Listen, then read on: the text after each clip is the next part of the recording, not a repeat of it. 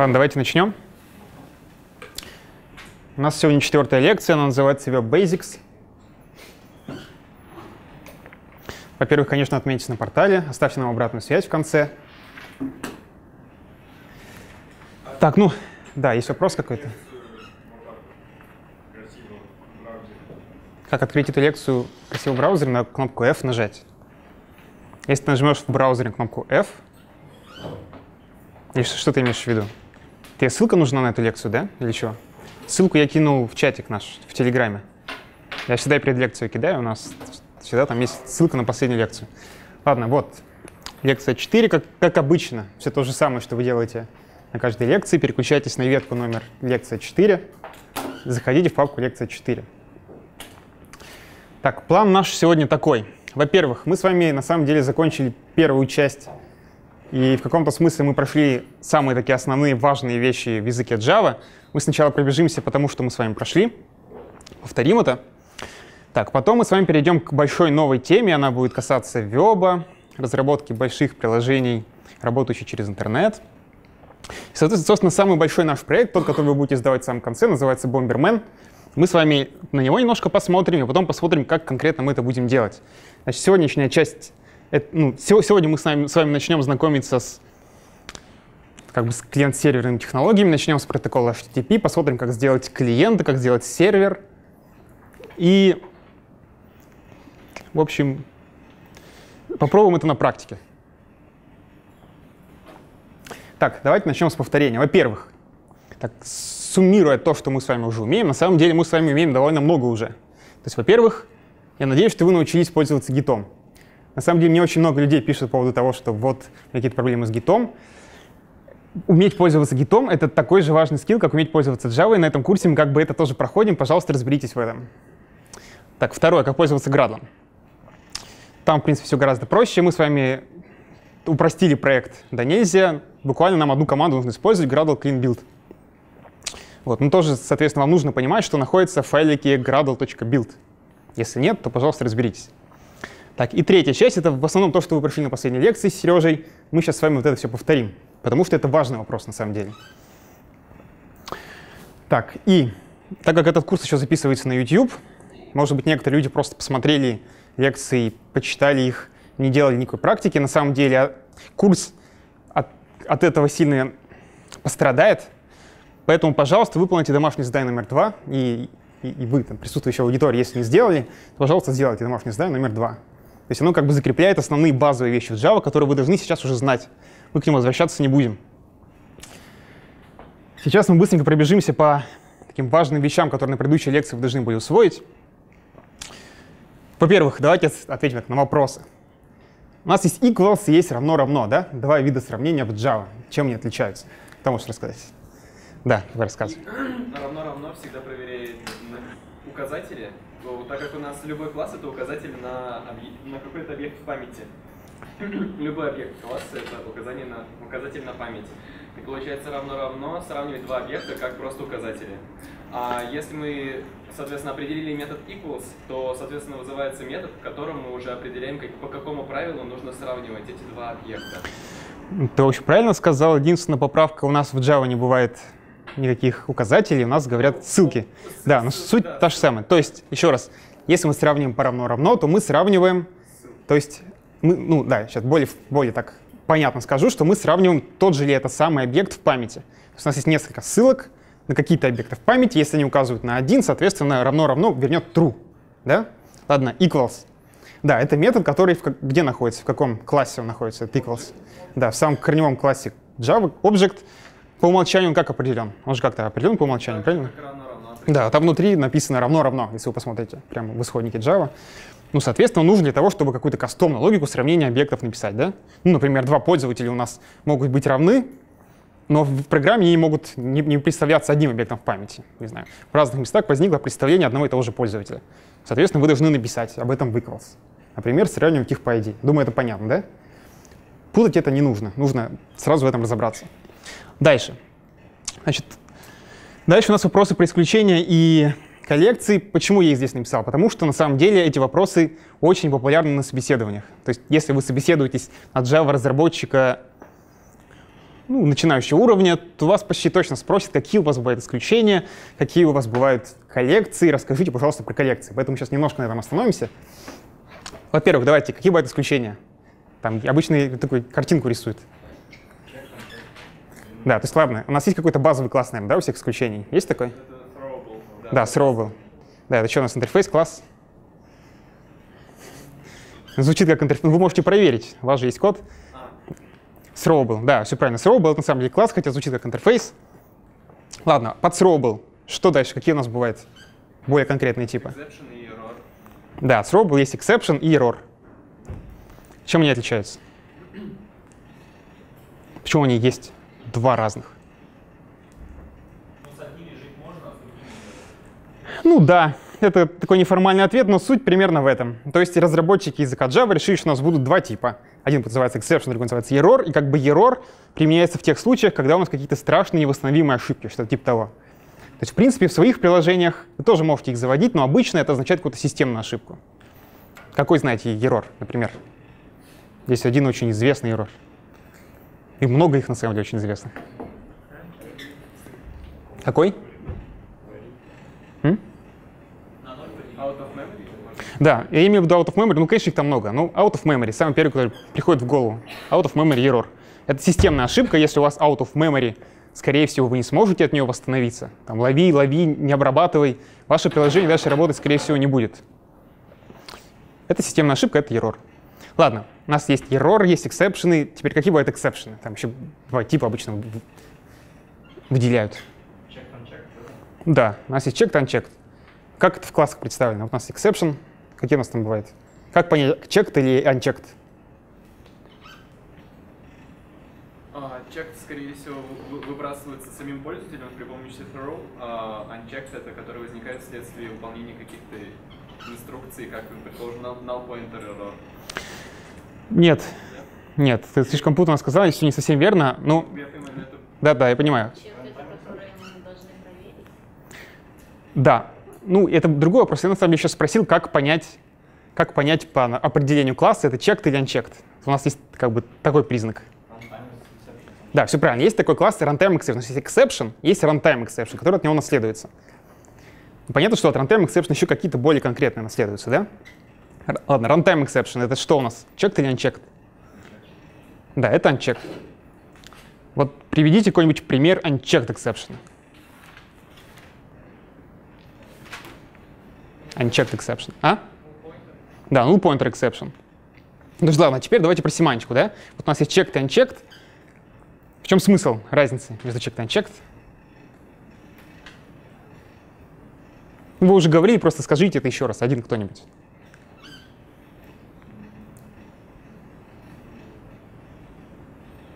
Ну, Вот, например, null pointer exception. Почему? Вот именно что unchecked exception, как бы, по тому, как мы его используем в Java, ловить как бы не обязательно, правильно? Ну, это, это логично, потому что у нас есть, например, null pointer exception, да? Это unchecked exception. Ну, было бы глупо каждую строчку кода оборачивать в try catch и говорить, это строчка кода кидает null pointer exception, там же объекты используются. Ну, поэтому просто есть класс таких довольно-таки популярных exception ов, то есть в Java популярные exception ы отнесены к run- к runtime exception. Ладно.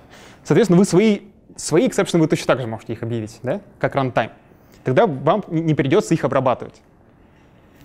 Соответственно, выбор всегда за вами. Последнее время мода примерно в том, чтобы как можно больше unchecked эксепшенов использовать, так, чтобы было меньше boilerplate кода, чтобы вам не нужно было, опять же, писать try catch по поводу каждого случая. Но это выбор, выбор такой за вами, короче, выбор за вами. Ладно, давайте теперь перейдем к коллекциям. А, Я тут просто выписал самые популярные коллекции. Давайте быстренько по ним, по ним пробежимся. Вот array-лист. Как устроен array- array-лист? Да. Почему он неизменяемый? Он изменяемый. В этом как раз суть. То есть, да, у нас есть array-лист, в нем внутри лежит массив. Как он себя ведет? Туда добавляем элементы. Что происходит? Да, то есть у него был какой-то начальный capacity, да, capacity. Когда мы туда добавляем слишком много элементов, он увеличивается. Это очень простая структура данных. Это все, что надо про него знать. Отсюда следуют все асимптотики его. Правильно? Ладно, давайте теперь дальше. Linked list. Как устроен linked list? Список, двунаправленный список. Да, это, да, это двунаправленный список. Что в нем хранится и как там все это хранится? В нем хранятся поля, и ка- и каждое поле указывает на предыдущие и последующие. Ну, что значит поля? Ну, какой-то объект, который хранит в себе ну, необходим- необходимое значение, предположим. И указывает. Ну вот смотрите, у нас array-лист есть, да, это объект. У него какие там поля у array-листа? В ре- в реализации, которая в Java. Понятно, что можно реализовать в принципе по-разному, но такая стандартная реализация, которая в Java, как она устроена, а? Элементы, ссылка на следующий значение. Ну да, там, там обычно есть ссылка там, на, на первый и на последний элемент, да? То есть в самом array-листе есть ссылка на первый и последний элемент. При этом что является элементом на самом-то деле в реализации? Объект, который мы-то ложим или нет? Кладем. Ну как бы вы, вы- вы же делали реализацию linked листа, вы должны знать, да? Делали линк листа, а array листа мы не делали. Да, я сейчас говорю про linked лист. А, просто... Linked лист, да, извини, я оговорился. Да. Linked лист, мы говорим про linked лист. Что хранится в linked листе? А, хра- Хранятся определенные объекты, которые, ну, объявляются, кла- класс объектов объявляется, объявляется отдельно. И да. Ну, то есть там хранятся некие entry или что-то типа того, в которых, ну, то есть это некая цепочка из entry, правильно? По которой можно ходить в две стороны. Отсюда и отсюда, с начала и с конца. Ладно, что хранится в entry? Зачем у нас отдельный объект для этого есть entry, отдельный класс? Что, что там есть? Да, все правильно, там есть данные, есть указатель на следующий элемент и на предыдущий элемент. Ладно. По точку удаляться не будем, слишком много времени на это убьем. Посмотрите на предыдущую лекцию. Дальше. HashMap. Как устроен HashMap? Кто может рассказать? Обычно хэш-табличка — это хороший ответ. Это, кстати, просто очень популярный вопрос на собеседовании, как устроен HashMap. Потому что на самом деле он не очень просто устроен. То есть вы не сможете взять это просто так догадаться, наверное. использует функцию, которая определена в object, hash-code и, со- соответственно, ну да, можно сказать хэ- хэш-таблицы, но какое у него решение коллизии, это я не знаю, в частности. Там же есть два вида решения коллизии, Мгм. списком и, соответственно, массивчиком определенного. А вот в хэшмэпе неизвестно. Да, ты все правильно сказал.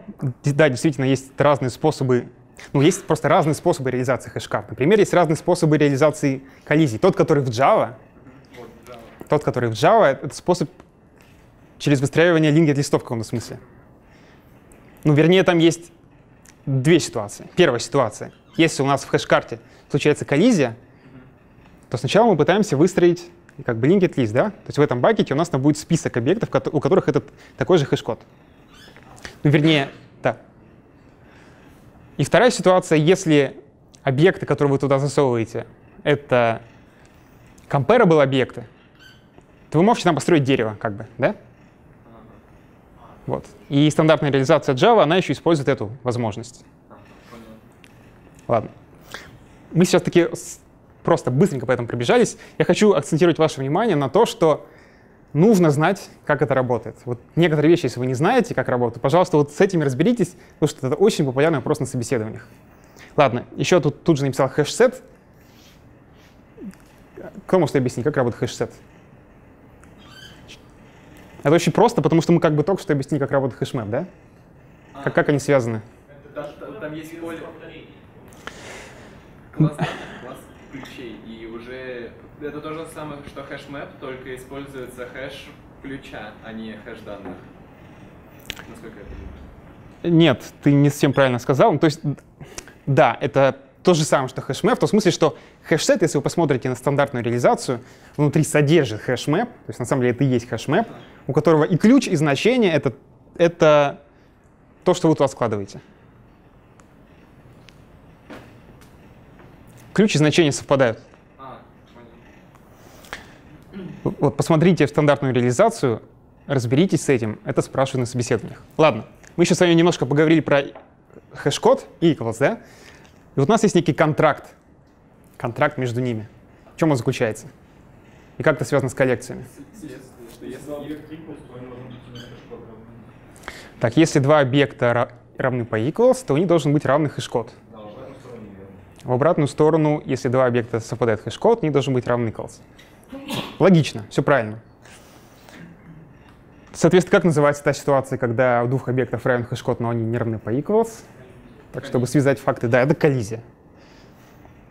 Просто повезло, да? Э, Хорошо, но на самом деле это еще как бы не весь контракт. Обычно еще накладывают дополнительные ограничения. Какие еще бывают ограничения? Хэш-код. На хэш-код то, что он не изменяется в, зави- ну, в течение жизни объекта. Да, все правильно. Хэш-код не должен изменяться во время жизни объекта.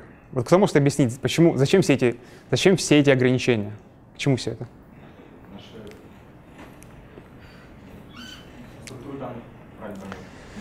Да, все верно. Если у вас вот этот контракт не будет соблюден, то некоторые структуры данных, которые основаны на хэшах, ну, потому что мы говорим про хэш-код, работать не будет. Хэш-карта сломается. Вы будете туда записывать данные, а потом не сможете их прочитать. Поэтому нужно обязательно соблюдать, соблюдать этот контракт. Соответственно, если вы пользуетесь IntelliJ IDEA, если у вас какая-то очень простая логика сравнения объектов, наверное, Сережа вам показывал, вы можете просто сгенерить метод equals и хэш-код, и они будут правильные. Кто знает, как сгенерить? Ну, там вы можете выполнить команду generate equals и. Вот. Научитесь. Я сегодня покажу на практике. Ладно. Это было наше повторение того, что вы сейчас уже должны как бы знать. Теперь перейдем к более интересной части, к новой части, бомбермену. Так, значит, в середине мая или в конце 25 мая, по-моему, у вас будет защита. На этой защите вы будете сдавать большой проект. Этот проект будет сервер для игры Bomberman. Соответственно, здесь даны ссылки на эту игру. Пожалуйста, перейдите на нее, посмотрите. Я так быстренько покажу. Пожалуйста, не включайте звук, если сейчас будете это делать. Он, он ужасный, ужасный. Вот. Это реализация Бомбермена одна, однопользовательская. Хоть там написано мультиплеер, но это имеется в виду мультиплеер на одной машине. Мы с вами возьмем эту реализацию от некоторого человека, который зовут Мэтт Скала, добавим к ней сервер, у нас будет по-настоящему мультиплеерная игра. Так.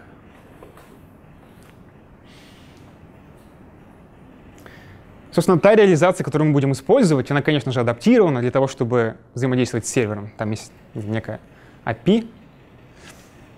Вернее, он умеет использовать API, которую мы с вами сделаем в сервере. Она лежит вот по этой ссылке в нашем репозитории в папочке Bomberman Frontend.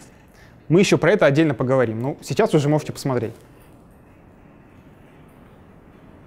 Так, сейчас вкратце так очень, очень на общем уровне посмотрим, как будет устроена наша игра.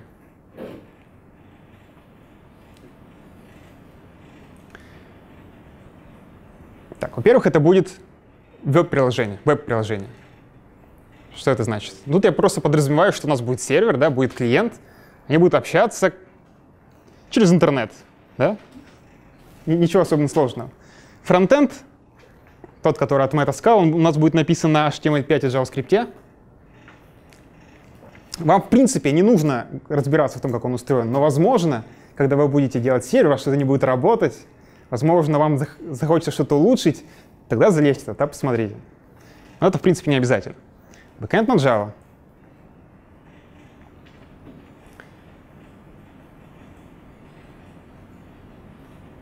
Так, интересно. В этом месте должна была быть картинка. В этом месте вы видите картинку? На этом пустом слайде, нет? После Bomberman Stack там нет. Там а- агента почему-то. А, нет. Хм. А, вот агента. Ладно, я, наверное, все-таки вам покажу эту картинку. Там картинка, на которой нарисовано, как взаимодействует наш клиент и сервер. Нет. Я вам сейчас так ее покажу.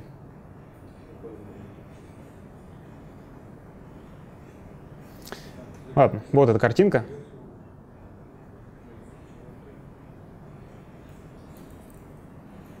А, картинка. А, то есть она есть в лекции, да?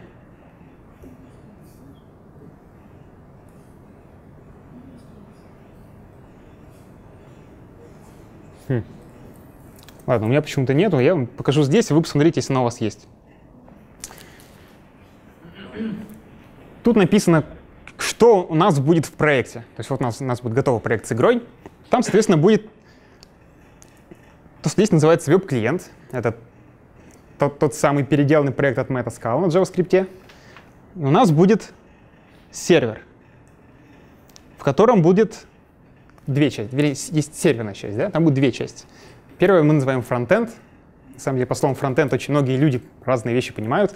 Мы будем понимать с вами веб-приложение, которое возвращает клиенту, соответственно, вот этот вот JavaScript, HTML. О нем вам тоже думать особенно не надо. Мы, мы вас научим его разворачивать, сделать так, чтобы все работало.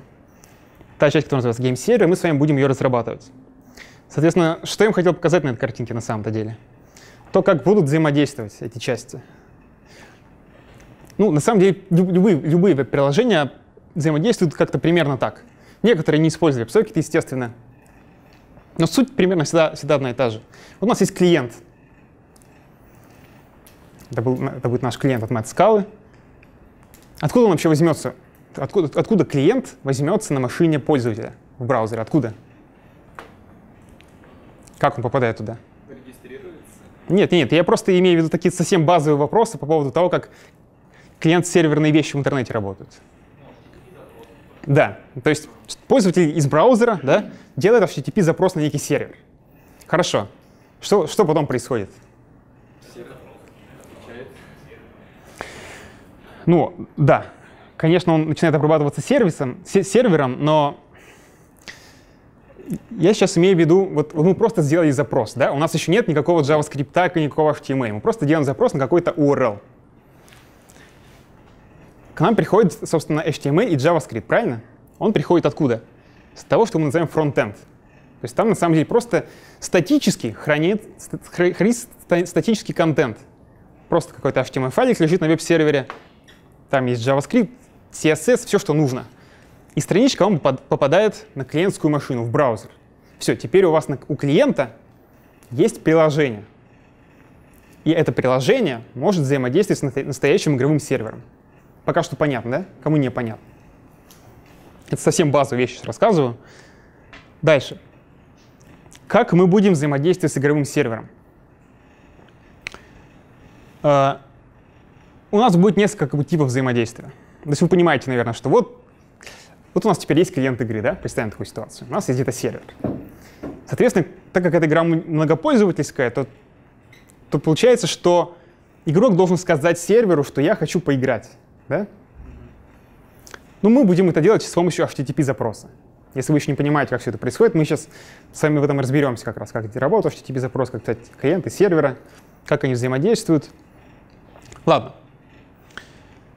И так делают несколько пользователей, да, они говорят, я хочу поиграть. Например, у нас есть какой-то там матчмейкер на этом сервере. Матчмейкер смотрит, ну просто, не знаю, не- некий объект, некий сервис, который следит за тем, кто хочет поиграть. И он, например, считает, что чтобы начать игру, нужно четырех человек дождаться, там, или двоих. Вот он дожидается и запускает игру. Все, теперь наш клиент начинает постоянно взаимодействовать с сервером. Это взаимодействие можно по-разному, в принципе, реализовать. Мы с вами будем использовать для этого протокол WebSocket. Про него будет отдельная лекция, сейчас про него говорить не будем. Сегодня у нас лекция про HTTP в основном. Кому вот эта схема непонятна? Здесь совсем базовая вещь написана. Ладно, давайте дальше.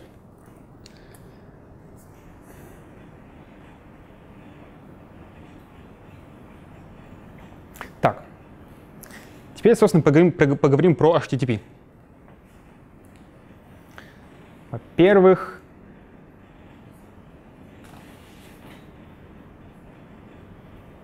хм. Скажите, у вас правда нет никаких картинок в лекции? Да, ладно. А, хорошо, все. Ладно.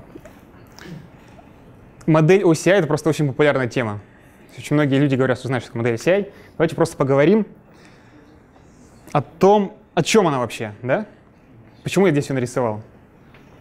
Это модель, которая как-то классифицирует протоколы, правильно? Протоколы взаимодействия.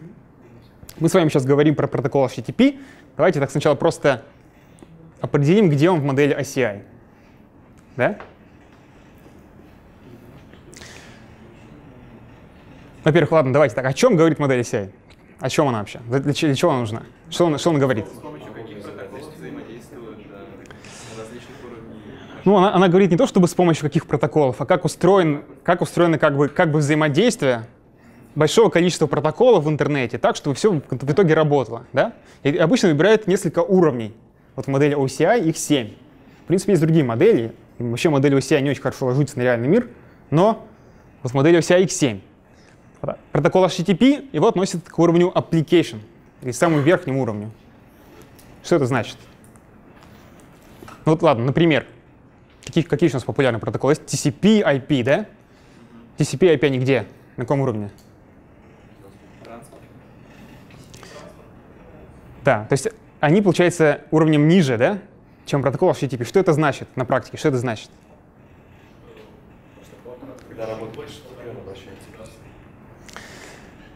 Когда работает HTTP, он обращается к TCP. Ну, не совсем так, но я думаю, что вы понимаете суть, да? То есть смотрите, вот у нас есть какой-то клиент, который работает по некому протоколу, например, HTTP. У нас есть какой-то сервер, который тоже работает по протоколу HTTP. Как все это происходит и как это ложится на модели UCI? Вот мы, например, знаем, да, что протокол HTTP — это у нас клиент-серверный протокол. Что значит? Ну, значит, что клиент в какой-то момент делает запрос на сервер. Вот он делает запрос. При этом понятно, что сам протокол HTTP не умеет, не умеет сам сделать запрос. Да? Ему нужно использовать какие-то другие протоколы. Вот, например, у нас есть TCP, IP протокол. Да? Что произойдет с HTTP?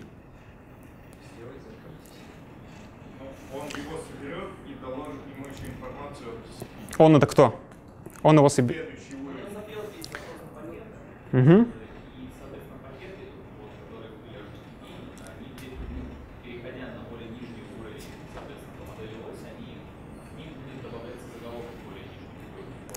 Да, да, все примерно верно, я повторю.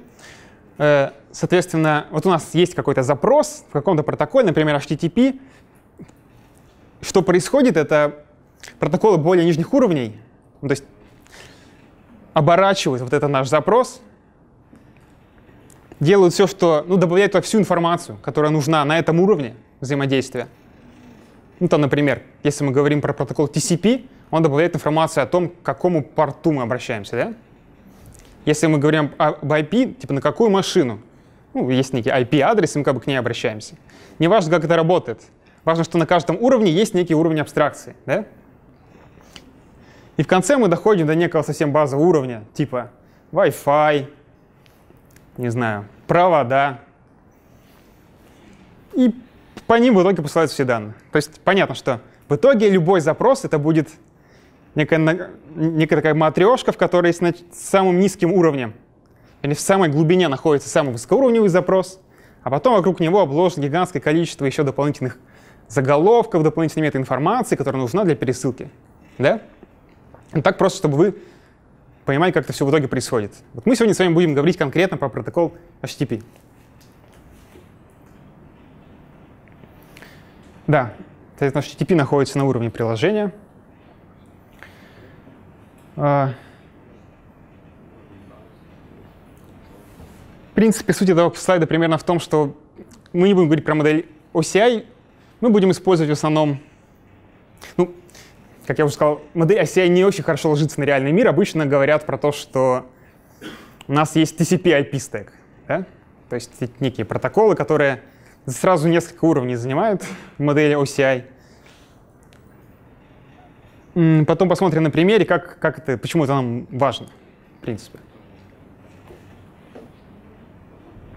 Ладно, так. Какие есть основные понятия да, в HTTP? Как вообще понять, что там происходит при общении по протоколу HTTP? Обычно говорят, что есть некая сущность, которая называется ресурс. Давай сейчас разберемся. Вы можете почитать документацию, там есть формальное определение, но мы не, не говорим формально, мы говорим так, чтобы было понятно и просто. Вот смотрите, у нас есть какой-то сервер — и на нем запущено какое-то приложение. Вот давайте на каком примере. Да? Например, у нас есть чат. Чат. Соответственно, мы хотим сделать веб-серверное приложение чат. Понятно, что в нем есть какие-то сущности. Ну, там, например, там есть юзеры, они посылают сообщения. Вот это все разные сущности. И как мы с ним будем взаимодействовать, как на логическом уровне? Например, когда пользователь заходит в чат, он Пользователь говорит, типа, я вот пользователь с такими-то настройками, у меня такой-то пароль, такое-то имя, я захожу в чат. Мы будем говорить, что мы как бы взаимодействуем с ресурсом пользователя. То есть мы логически, на самом деле, в приложении можем выделить некие такие вот ресурсы. Например, пользователь — это ресурс. А, Перед этом как мы взаимодействуем? Да, давай вопрос. Это получается информация, которую нам юзер отдает, которую мы можем... Не совсем, не, не то чтобы не то чтобы это информация, которую пользователь дает, это просто у нас на сервере есть некие сущности, и мы с ними взаимодействуем. Это очень общо сказал. Ну, например, смотри, вот у нас есть чат, да? Понятно, что в чате есть много пользователей разных. И вот ты, когда заходишь в чат, ты можешь сказать, вот я такой-то пользователь. Или там, не, не знаю, ты заходишь в чат и хочешь посмотреть информацию о каком-то пользователе, да? Ты говоришь серверу, дай мне, пожалуйста, информацию о ресурсе пользователь с таким-то ID, например. Вот в этом смысле мы используем слово ресурс. Понятно, да? То есть на самом деле это как бы любая сущность на сервере. Э, логическая сущность. Как мы взаимодействуем? Если мы говорим про протокол HTTP, как мы взаимодействуем с ресурсами? Если мы говорим про протокол HTTP, то с помощью методов, HTTP методов. Какие бывают у нас HTTP методы? Да, ну то есть на самом деле просто в протоколе HTTP определены способы, с помощью которых вы можете общаться с ресурсами. Да?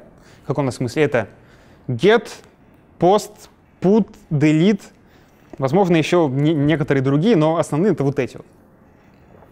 Про них дальше более подробно посмотрим. Ну и, соответственно, есть еще понятие URI. То есть Universal Resource Identifier. То есть у каждого ресурса есть некий, некий способ его получить, да, ID. Есть еще понятие URL. Есть понятие URI, они, в принципе, разные. Но мы будем с вами говорить URI и не будем углубляться в терминологию. Ладно, теперь более конкретно про методы, да? Нет, про методы чуть попозже.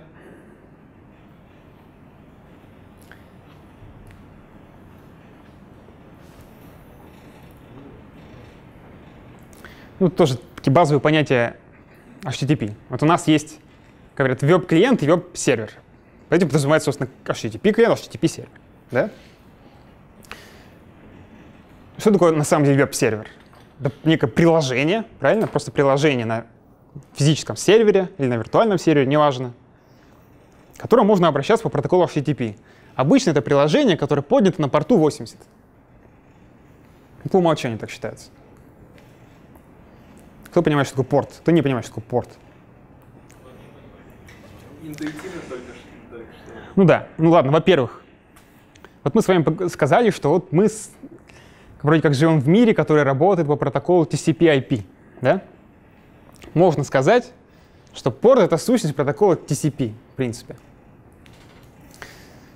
Ну давайте так разберемся. Я думаю, что вы все эти понятия зна- уже знаете, я просто, как сказать, со- соединю их, попробую их соединить. Вот у нас есть одно приложение на одной машине. Да? Например, это браузер. Есть какое-то другое приложение на другой машине. Например, это веб-сервер с каким-то приложением, например, с чатом. Да? И мы хотим, чтобы они взаимодействовали. Мы хотим, чтобы пользователь из чата сделал запрос в чат, написал туда сообщение или получил список сообщений, да? например. Как, как приложение может сказать, я хочу обратиться вот к тому приложению? Как веб-браузер может сказать, я хочу обратиться конкретно к этому чату? Как? Вы все пользуетесь интернетом, вы знаете. Просто давайте скажем более формально. Да, ну, во-первых, да, ты должен сказать, как бы, на какую машину идти, в каком-то смысле. Куда идти? Это не обязательно значит машина обычно, но в итоге все сведется к машине. Если ты пользуешься интернетом, ты обычно пишешь там, не знаю, какой-нибудь DNS-имя, правильно? Ну там, например, chat.ru, я не знаю, просто случайно сказал, chat.ru.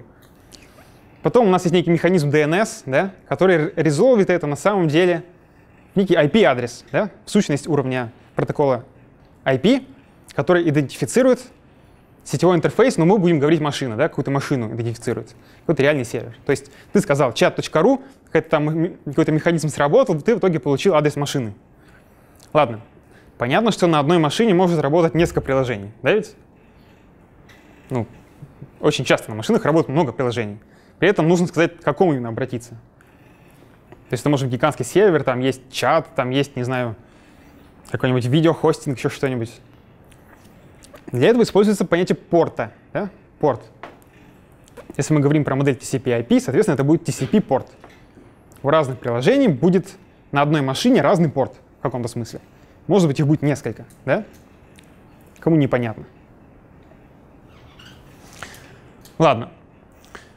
Соответственно, вот если у нас на машине поднят веб-сервер, сейчас мы возвращаемся к этому, он обычно по умолчанию поднят на 80-м порту. То есть, чтобы обратиться к веб-серверу на этой машине, ты должен знать ее IP-адрес или DNS, который резолвится в IP-адрес этой машины, и порт. Если, если вы в интернете не пишете порты, это значит, что обычно вы попадаете на 80-й порт куда-то там, обычно, да? Все, такие базовые вещи. Ладно, какие у нас бывают веб-сервера? Ну, это, думаю, это название на слуху, да? Apache, Nginx. В принципе, много разных. Мы с вами будем использовать, что называется, embedded tomcat. То есть что это будет значить? Вот мы же с вами пишем Java-приложение, да? Ведь? Наш сервер — это будет Java-приложение. Мы хотим, чтобы это было веб-приложение, то есть чтобы наше приложение отвечало как веб-сервер. То есть чтобы оно отвечало на 80-м порту. Чтобы оно делало какую-то там машинерию, которая обрабатывает запросы, Соответственно, просто в нашем приложении мы будем использовать некую библиотеку, которая внутри содержит встроенный веб-сервер, который все это умеет, который, более того, позволяет расширить функциональность веб-сервера. Мы это и сделаем. Кому непонятно?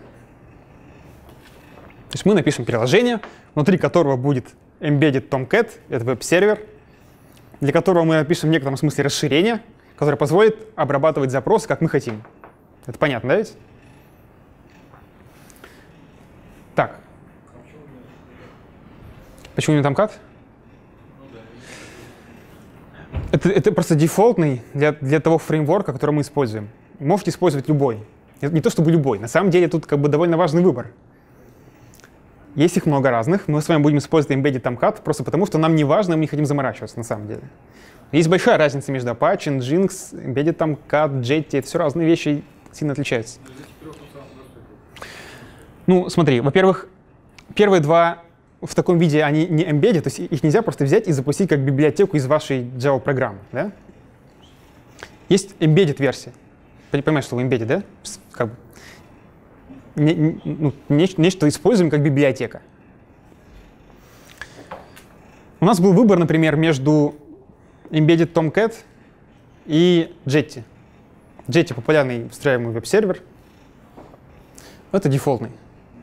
Мы его выбрали просто потому, что он дефолтный.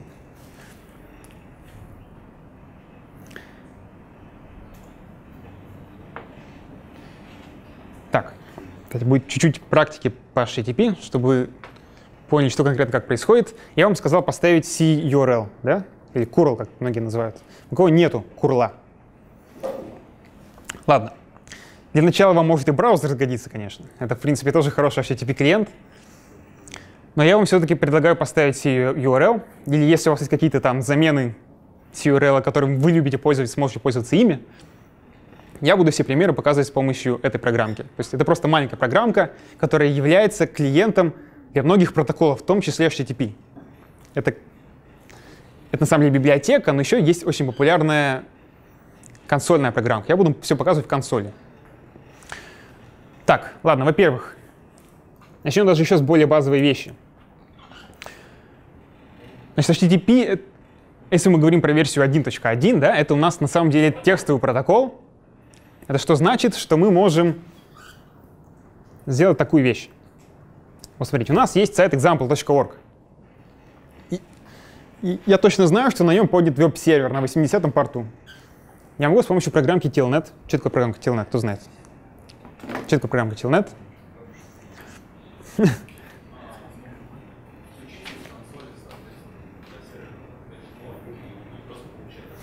Да, это просто маленькая, очень простая программка. Если у вас ее нет, ничего страшного, я просто вам покажу, и потом вы можете про нее забыть. Она популярная, маленькая программка, которая всего лишь может обратиться к любому порту любого, любой машины и послать туда текстовые данные. и получить ответ соответственно. Вот мы сейчас так и сделаем, просто проверим, как все это работает. А, Если у вас нет телнета, опять же, ничего страшного. Вот я сказал, телнет, обратитесь, пожалуйста, на example.org, на порт 80. Он говорит, введите, пожалуйста, запрос. Ладно, я ввожу запрос. Сейчас как раз раз- разберемся, почему я им так написал.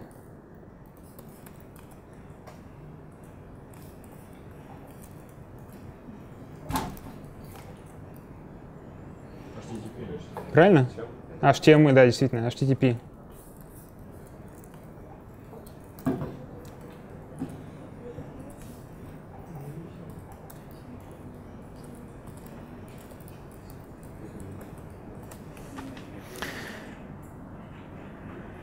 Все, отлично. Мы сделали запрос. Он состоял всего из двух строчек. Это самый простой HTTP запрос, который можно было сделать. Да. Запрос? Нужно нажать Enter два раза, в том смысле, что мы должны иметь пустую строчку в конце запроса и потом еще раз Enter для того, чтобы отправить его. Ладно, давайте сейчас объясним быстро, что произошло, чтобы просто чтобы понимать, как работает протокол HTTP. Да? Во-первых, это клиент-серверный протокол, опять же. То есть мы, как клиент из Telnet, делаем текстовый запрос на сервер. Что мы там пишем? Вот мы пишем get index.html. Get это что? Get — это метод. Это тот самый метод, с помощью которого мы можем об- обращаться к ресурсам. В данном, в данном случае мы не используем как бы, терминологию ресурса, мы просто говорим, пожалуйста, HTTP, дай мне файлик с таким-то именем сервера. Да? Index.html — это обычный корневой файлик во всех веб-приложениях. По, по, по такому протоколу HTTP 1.1. Ну, еще там в версии протокола HTTP 1.1 нужно обязательно писать хост. Ладно, что такое хост? На самом деле понятно, что вам хочется иногда делать разные HTTP-запросы. В каком смысле разные? Ну, В смысле, что запросы с разными метаданными, да? И там запросы с разными параметрами. Да, точно так же, как вы функции зовете с разными параметрами, HTTP-запросы могут быть с разными параметрами, правильно? Соответственно, способ это сделать — это использовать хедеры, что называется, заголовки HTTP-запроса. Один из них — хост.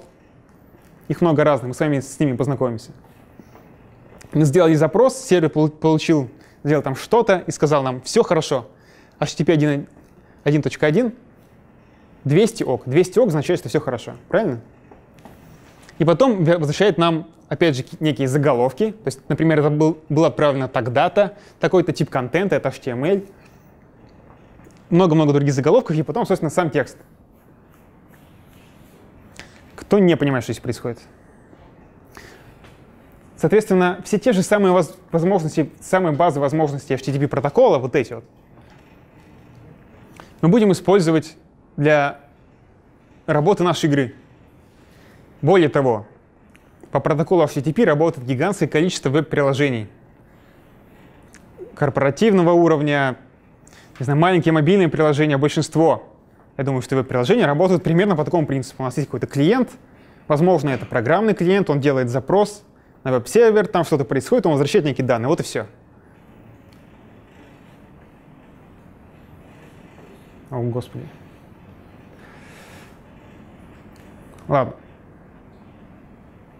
Если мы с вами уже разобрались, что у нас есть, да, там, со- собственно, есть хедер запроса, да, нет информации. Понятно, что вы можете передать еще нек- некоторое, нек- некое тело запроса, да. Ну, например, когда вы посылаете сообщение в чат, вы делаете HTTP-запрос, да ведь? Скорее всего, в каком-то виде. И вы хотите же передать сообщение, и это сообщение, скорее всего, будет включено в боди. То есть в вашем запросе еще будет дополнительное боди с сообщением. Ладно, это те методы, с помощью которых можно общаться на, на языке, на протоколе HTTP. Да? Можно взять ресурс, можно пост послать ресурс, можно put, ну, там, не знаю, изменить ресурс, положить его куда-то в каком-то смысле, delete, удалить ресурс. И многое другое. Что про запрос надо понимать? Есть статус-код. Да, мы с вами видели, там было 200 ок. Есть классификация статусов. Я думаю, что вы все видели 404, я думаю, что вообще вы все знаете про эти статусы. Да? Кто не знает? Ну и, и, и все остальное то же самое. Соответственно, мы с вами будем использовать все это. Мы будем с вами использовать и статус-коды, response header ы и body. Все это нужно понимать. Довольно просто. Если что, есть спецификация. Ну да, понятно, что самый популярный на самом деле веб-клиент — это браузер. Когда вы делаете какой-нибудь запрос, пишете google.com, вы делаете HTTP-запрос на, на сервера Google, да ведь? Единственное, что вы делаете, какой запрос, какой метод? Get. Да, вы делаете get-запрос. Но, как вы видите, HTTP позволяет не только get, может позволять put, может позволять delete. А, ну, это я имею в виду, если вы просто какой-то там адрес вбили и нажали Enter, это будет get-запрос. Ладно.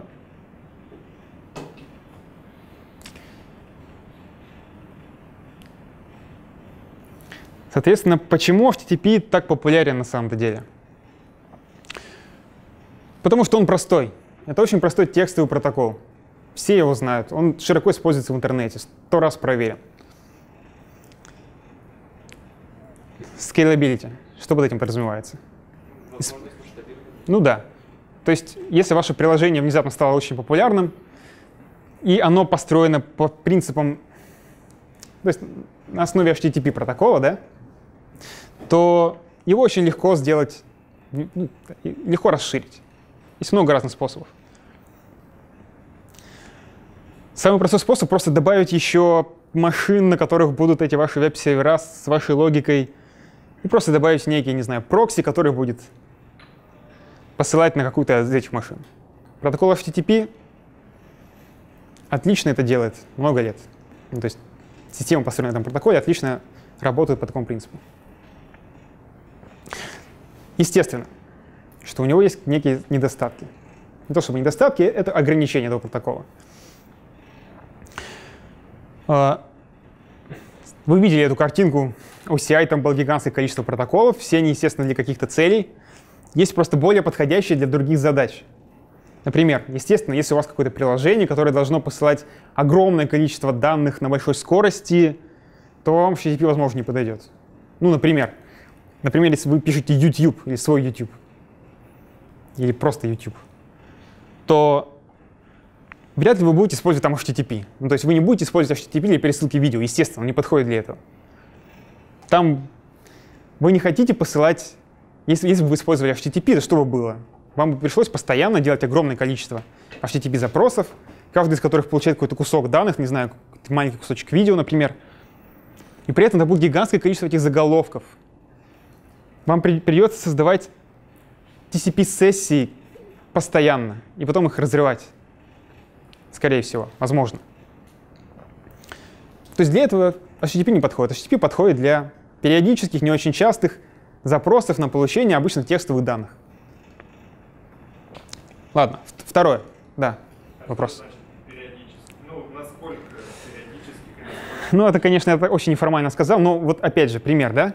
У нас есть игра. Там все достаточно быстро должно. Да, да, все верно. Ну, просто мы с вами не будем использовать HTTP протокол для, собственно, посылки данных об игре, об состоянии игры. Мы не будем это делать на HTTP. Но мы будем использовать HTTP для того, чтобы подсоединиться к игре, например, послать данные, для того, чтобы начать игру. Вот. То есть, да, для того, чтобы слать данные с сервера на клиент, постоянно мы будем использовать другой протокол WebSocket, который позволяет установить соединение и слать по нему данные в обе стороны. Вот. HTTP для этого не подходит. И опять же, да, почему, опять же, мы для игры не будем использовать HTTP? Потому что, ну, когда у нас запущена игра, у нас есть клиент, который какие-то данные шлет на сервер, а есть еще другие игроки, которые тоже там как-то играют, они посылают данные на сервер, и сервер нам должен об этом сообщить, да ведь? Но мы с вами знаем, что HTTP — это клиент с серверным протоколом. И там активность должен проявить клиент. Сначала клиент должен спросить, и тогда ему тут же ответят. Есть, конечно, HTTP 2.0, там есть некие дополнительные возможности по поводу того, чтобы сервер нам дополнительно сообщал данные сам без всякого запроса, но это, честно говоря, не то, для чего он создан, и для этого лучше использовать другие протоколы. Ну, то есть в нашей схеме просто не получится с помощью HTTP получать данные с сервера, если мы не сделали запрос. Ладно. CURL. Ну да, я уже говорил про CURL, просто очень популярная библиотечка. Многие браузеры просто внутри используют эту библиотечку на самом деле. Мы с вами будем использовать Command Line клиент для нее. Давайте сейчас сделаем небольшую паузу. Если у вас она не стоит, то, пожалуйста, зайдите, поставьте ее. Вот. Да, мы сегодня с вами будем использовать библиотечку CURL очень много. Давайте просто для примера посмотрим, как она работает. То же самое, что мы делали с помощью Telnet. Мы сейчас сделаем с помощью CURL. Заходите в консоль, да, неважно в какой папочке, естественно, потому что мы делаем запрос на веб-сервер. CURL минус i минус x get, то есть, пожалуйста, CURL, дай нам запрос, get запрос на вот такой-то адрес. Да? Минус i значит выведи нужную нам эту информацию. Почитайте, что это значит. Хедер выведи.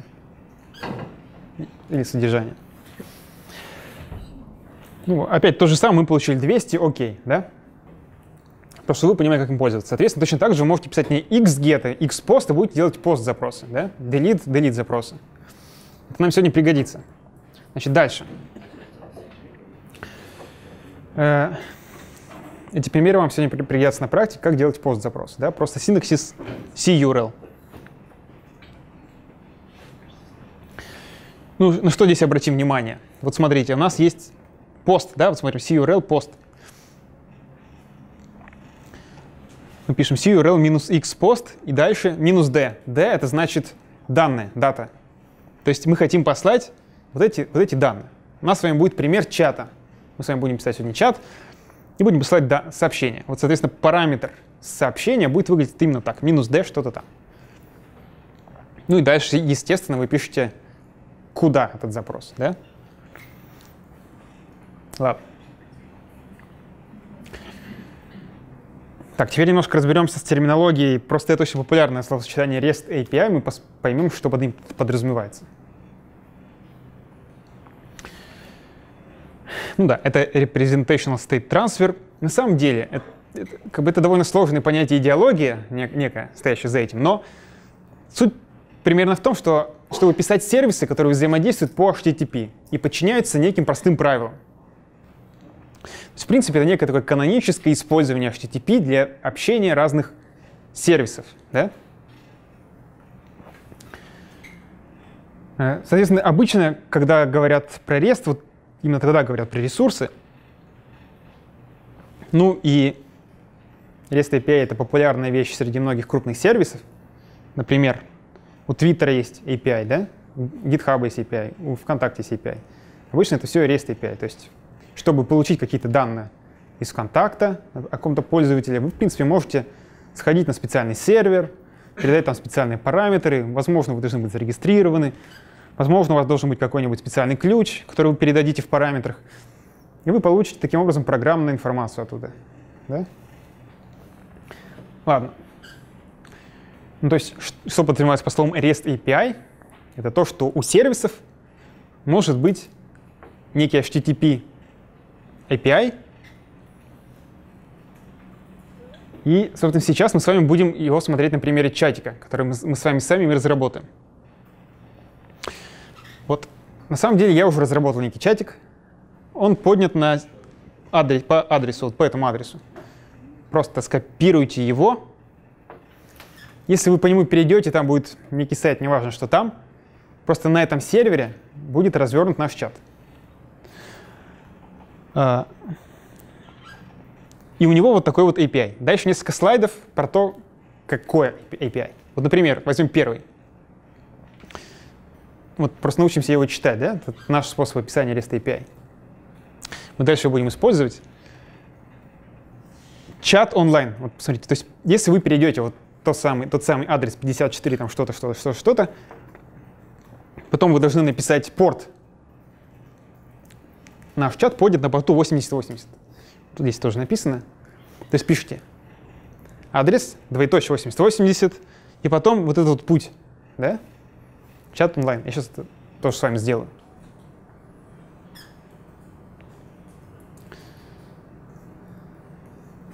Вот.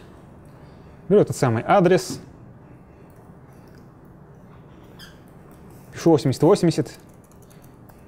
Двоеточие 8080 чат онлайн. Да? Только я онлайн. Только я пользовался этим чатиком пока что. Вы еще нет. А, хорошо. Есть способ залогиниться в этом чатике. Вот давайте сейчас кто-нибудь попробует залогиниться с помощью CURL. Кто первый, тот получит 2 балла. Ну, естественно, пишите, как вас зовут. То есть под своим настоящим именем залогиньтесь. Вот. Кто не понял, что надо сделать? Надо попробовать залогиниться в этом чате, используя описание API. Любым доступным вам способом, ну, например, с помощью CURL, да? А это делать? Я это увижу. Какой вопрос?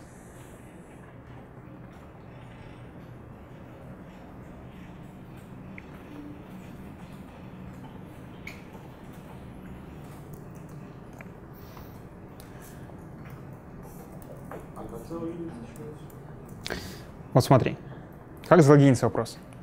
Ответ. Вот у нас есть описание API, с помощью которого можно залогиниться в наш чат.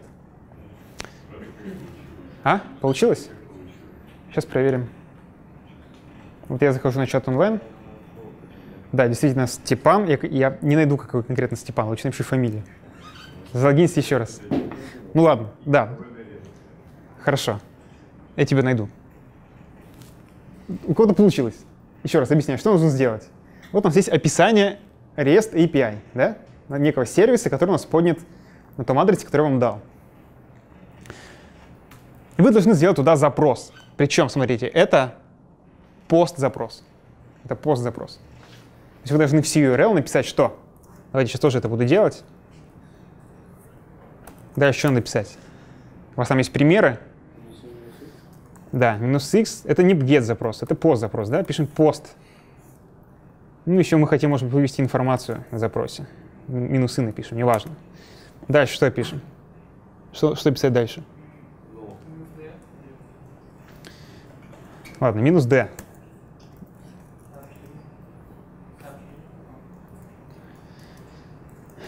Ну, давайте посмотрим на это API. Тут у нас есть параметр. Query param name. Name. То есть я здесь пишу name равно, ну там, не знаю, например, админ, я буду админ. Теперь куда мы делаем запрос, да? Куда? Вот у нас есть этот адрес. Еще давайте все-таки сообщим, что это HTTP запрос. Пишем здесь вот так, вот HTTP.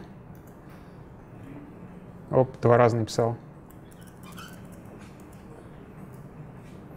И по какому адресу у нас этот сервис расположен? Вернее, конкретно этот ресурс. Чат-логин. Пишу чат-логин.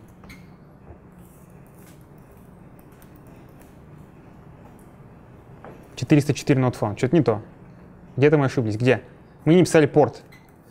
Порт 8080. Все, 200. Все получилось. У кого, у, у кого что-то не получилось? Поднимите руку. А что, какой статус? Что, что, что еще раз?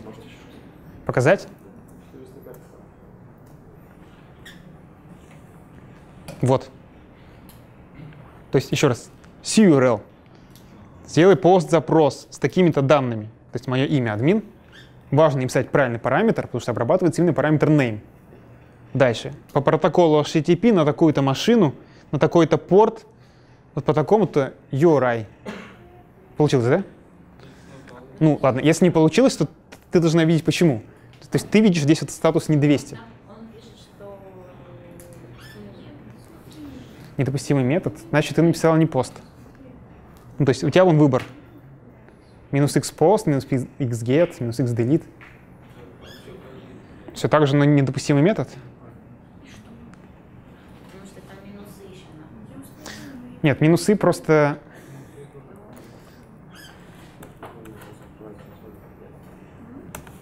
Нет, минусы — это просто вывод хедера. Чтобы я увидел статус, да. Минус x выбирает с- тип запроса, минус x пост.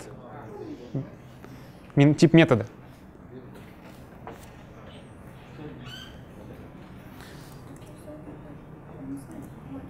Ну, я второй раз залогиниться под тем же именем не могу.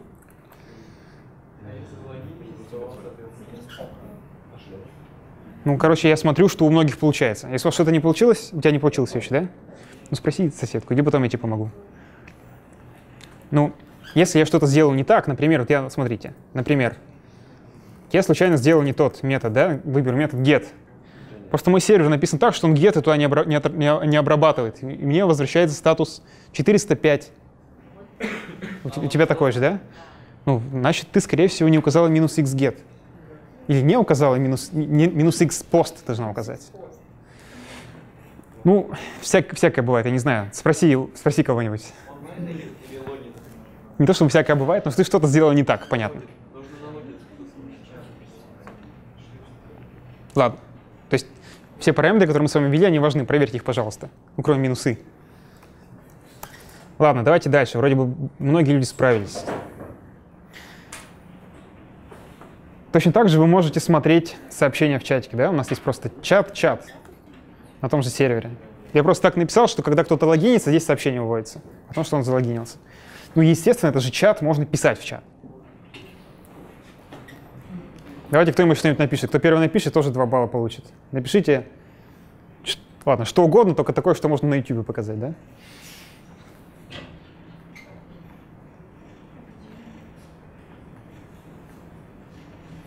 Мы сейчас делаем метод say, чат say. Не делаем, а делаем запрос на этот URI.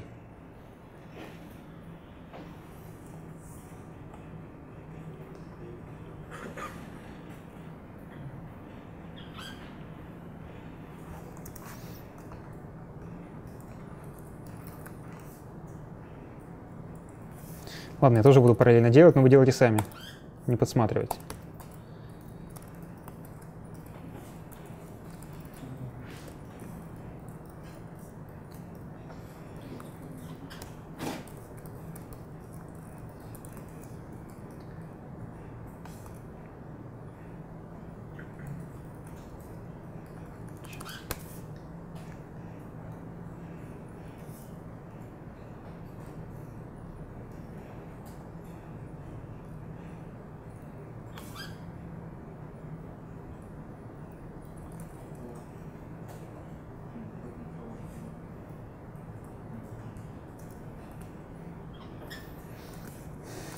Так, я написал, и у меня получилось. Ну да, я даже был не первый.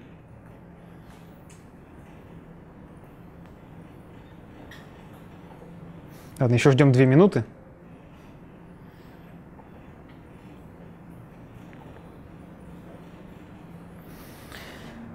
Ждем две минуты и продолжим делать то же самое, только из Java.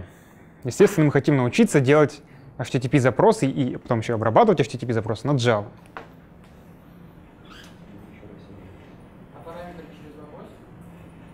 Да. Ну, вот смотрите, как я это сделал. Это просто такой синтаксис передачи параметров. А, кстати, вот нет, нет опасности то, что...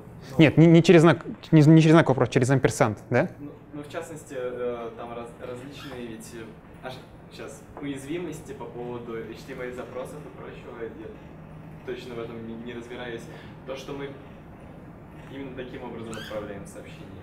А в чем заключается уязвимость? Ну, в частности, а, бо- боже, ну когда мы от- отсылаем сообщение и ставим, предположим, не две кавычки, а одну из них, и все остальное считается как строка, и мы считываем это с Ну, естественно, уязвимость будет... То есть я понял, о чем ты говоришь. То есть ты, ты, например, можешь вставить туда некую инъекцию, да? Да. Например, какого-нибудь JavaScript кода. ко- Ну, понятно, что все это будет работать, только если сервер эти данные примет от тебя, дов- доверится им и просто ты потом куда-то их сохранит, а потом покажет другому пользователю так, как есть.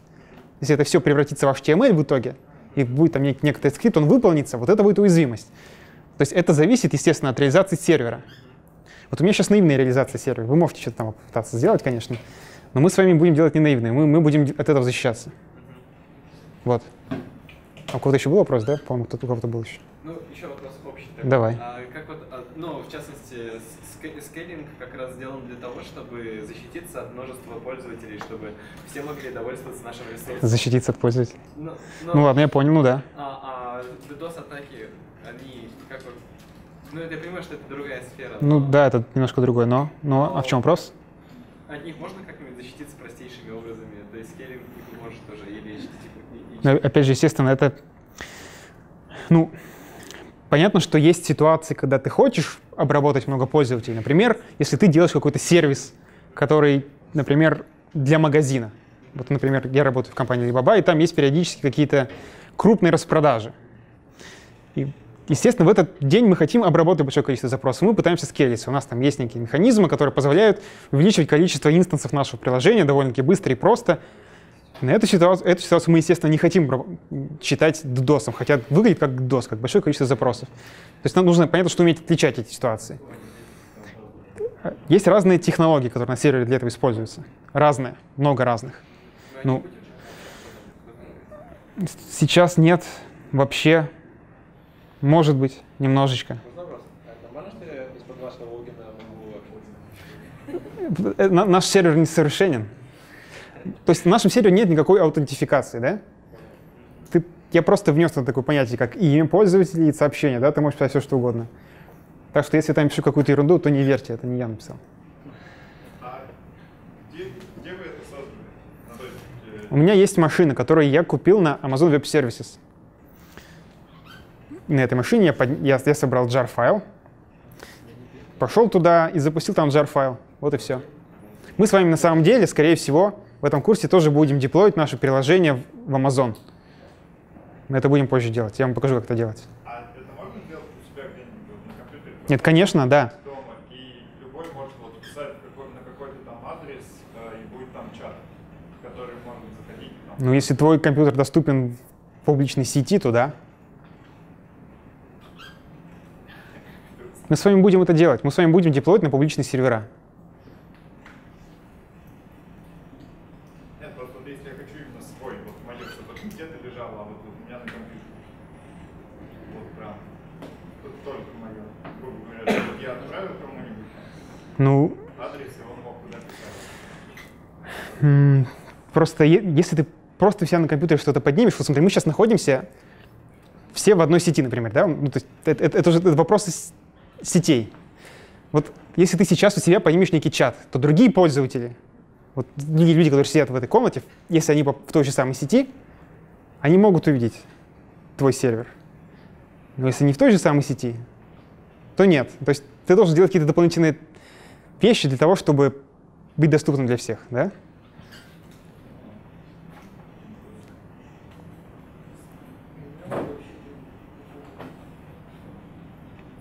Ладно, сейчас посмотрю еще раз, сколько там людей, людей с сообщениями. Ну, вроде бы много. Не знаю, может быть, всего один человек писал, но не знаю. Ладно, давайте дальше. У нас не так много времени, у нас много планов. Теперь мы хотим научиться делать все то же самое из Java, естественно. Из Java. Так, что мы будем для этого использовать? Есть библиотека. Есть большое количество библиотек, мы с вами будем использовать конкретно, которая называется OC HTTP. OC HTTP. Ну, у нее есть репозиторий на GitHub, можете посмотреть, но давайте посмотрим на примеры, которые у нас в проекте есть. Значит, идем в наш проект. Открываем лекцию 4, естественно. И смотрим. У нас здесь есть такая вещь, как чат-клиент.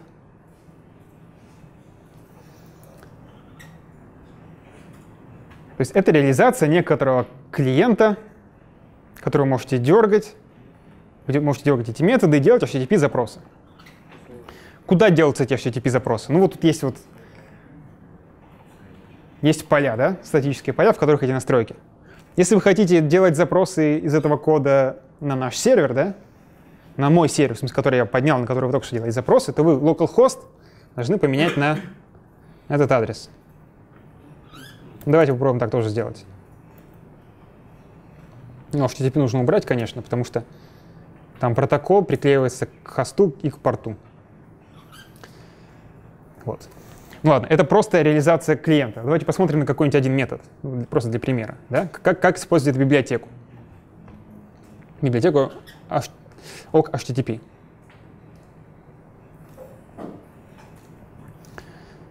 Вот, например, как делать запрос на список всех сообщений в чате, да, на чат-чат, как тут написано. Вы создаете объект запрос, да? Вы говорите, это get запрос. Там есть пост, это и все вот это там тоже есть. Вы выбираете get. Вы говорите, на такой-то URL вы должны добавить header host, такое требование HTTP 1.1. И все, и потом говорите клиент. А клиент это просто нек- некий объект, который просто создан из ничего, new, HTTP, new OK HTTP клиент. Делайте запрос. Ну, я думаю, здесь все понятно, да ведь? То есть это очень простая библиотечка на самом деле. Вы создаете запрос и делаете через клиент этот самый запрос. Вот и все. Ладно. Теперь как проверить, что все это работает? Или не работает? У нас на это есть тест. Вот смотрите, у нас есть чат-клиент-тест. Заходите в чат-клиент-тест, и там, соответственно, на, на все вот эти вот методы, да, был вопрос? Мне показалось. Есть тесты. Например, вот я хочу посмотреть все сообщения в чатике, да? Этот тест что делает? Он обращается к тому самому, к той самой реализации нашего клиента, который HTTP чат-клиент, да? Он к ней обращается. Ну вот. Тест прошел хорошо, навернулся, потому что навернулся 200, потому что все хорошо получилось. И мы увидели полный список сообщений. Понятно, что происходит, да? Все.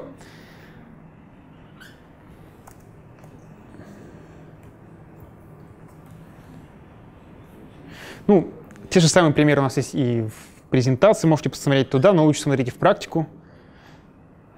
И, соответственно, задание. Задание на сейчас для вас. Если вы посмотрите на чат-клиент, да, чат-клиент, вот он. Здесь реализованы только два метода, на самом деле. Один логин, другой чат-чат.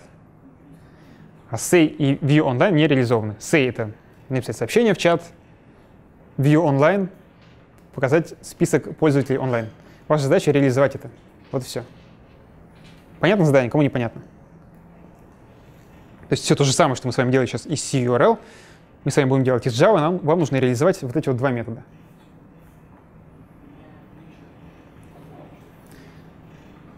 Вот. Соответственно, сделайте так, чтобы я понял, что это сообщение было сделано из, из Java. Тут мне придется вам поверить, просто возьмите и допишите в MyMessage что-нибудь что-нибудь типа from Java, да? Ну просто, чтобы вы поняли, что вы это сделали, чтобы я понял, какое количество людей это сделали. Стринг запихнуть указатель на Java, и он будет с такими цифрами. И Java, А. указатель, собака и... Ну да, ну это- подделать это не намного сложнее, но можно так. Ну неважно, просто допишите что-нибудь, чтобы я понял, что это из Java сделано. Вот вам задание на 10 минут. Ну ладно, давайте продолжим. Вы, в принципе, можете еще доделывать, но у вас еще будет одна практика, вы можете доделывать эту, если не успели сейчас. Да. Вопрос. Почему мы делаем MediaType, parse, application, 3WX, 3W, form и прочее? Что это значит? Я просто сейчас вам боюсь наврать. Я забыл, честно говоря, что, он, что, что делает именно кон- кон- конкретно этот header. Этот header важен. Давайте загуглим вместе тогда уж. Давайте. Я-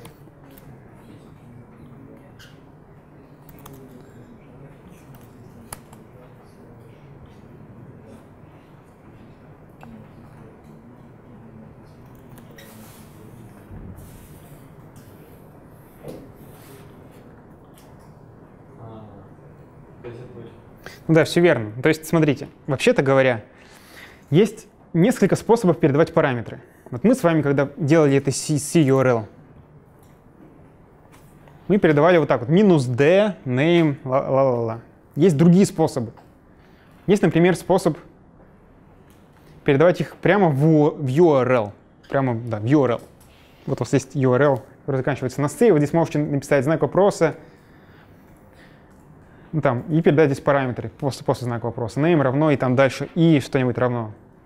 Это популярный способ. Просто мы с вами не, не его используем, а тот. И вот с помощью этого хедера мы указываем, какой именно способ.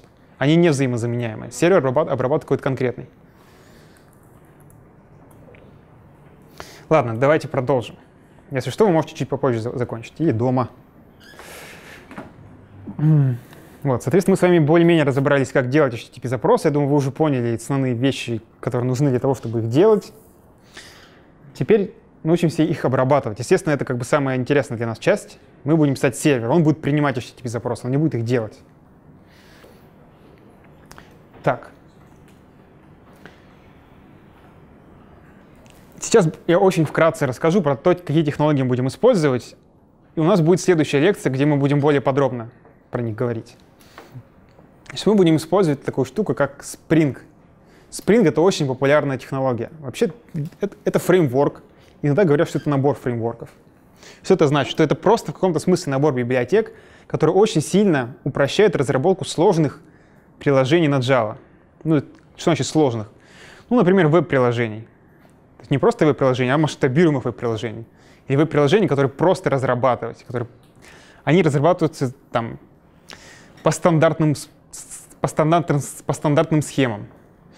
Есть большое количество как бы под фреймворков в этом спринге, который позволяет реализовывать аутентификацию, там, работу с базами данных, собственно, разрабатывать сами веб-приложения. Мы с вами будем использовать только очень маленькую часть из этого. Но это очень мощный фреймворк, и он, в принципе, практически стандарт де-факто сейчас в Java. Вот мы, например, работаем в Alibaba, у нас большинство сервисов работают на Spring. Раньше там, например, были какие-то другие самописные технологии, и все равно все приходят на Spring, потому что это стандарт. В принципе, есть другие, но это популярная вещь. То есть разбираться в нем, я считаю, что будет очень полезно вам. Если не сейчас, то в будущем разберитесь. Ну, то есть, да, здесь чуть больше информации про то, что такое Spring. То есть, да, это на самом деле набор таких библиотек, будем называть их фреймворками, что это такие крупные библиотеки. Они сильно меняют то, как вы разрабатываете на Java. Э, мы с вами будем использовать в основном Spring MVC. Кто понимает, что такое MVC? Расскажите, что такое MVC. Да, это Model View Controller. А что подразумевается под этим? Да, ну, можно так сказать, что это такой популярный подход к устройству обычно веб-приложений, который говорит, что у нас должны быть три отдельные сущности. Это модель, то есть это в некотором смысле описание нашей предметной области. Да? То есть, например, если у нас приложение про пользователей и сообщения, то модель — это будут пользователи и сообщения. Ну, там какие-то классы, например, их будут реализовывать, их будут представлять в нашем приложении. Это будет модель. У нас будет отдельная вещь — контроллер. Это штука, которая обрабатывает запросы на манипуляцию этими, этими, этими объектами модели. То есть, например, нам пользователь, новый пользователь залогинился, и некоторый контроллер, некоторый класс, который будет считаться контроллером, будет совершать эту логику. И у нас будет view еще не, некоторый объект, не, некоторый уровень приложения, который отвечает за то, как эти данные показывать. То есть это такой базовый паттерн устройства многих приложений. И Spring есть средства, которые позволяют делать это стандартно и просто. Вот мы с вами будем их использовать, хотя не будем в них глубоко уходить. Да, здесь такое некоторое описание того, что подразумевается под Model View контроллером. То есть у нас есть пользователь, который обращается, ну, там, например, через HTTP запрос, каким-то образом, в общем, обращается к серверу, и его запрос обрабатывает контроллер, вот здесь, вот здесь нарисован, который изменяет модель, да, изменяет данные. Ну, там, например, был пользователь офлайн, стал онлайн. Были у пользователя одни сообщения, стали другие. И потом на основе всего этого наше приложение генерит некоторый view, который показывается пользователю. То есть схема такая, логичная.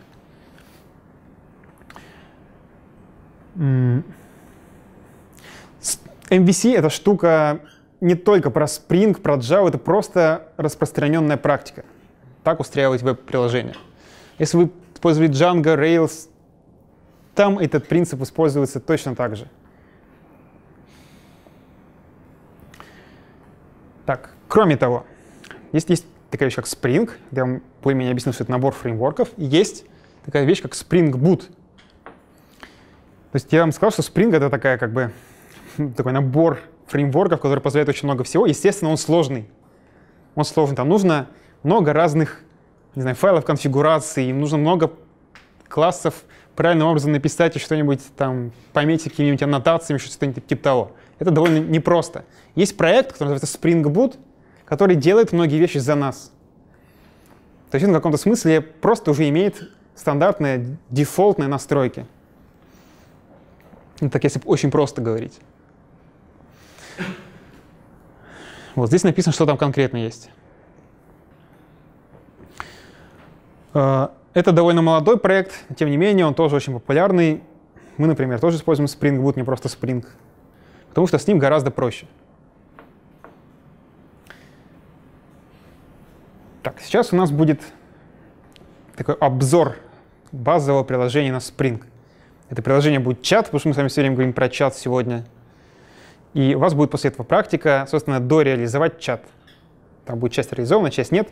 Та часть, которая реализована, я вам сейчас объясню. Тоже сейчас мы не, не углубляемся в Spring. У нас будет в следующей лекции более подробное описание того, почему это именно так, почему здесь это, почему здесь так, как сделать то-то или то-то. Здесь мы смотрим просто на базовый пример. Значит, где он находится? В папочке сервер на этот раз, сервер. И там есть всего два класса. Один называется Chat Application.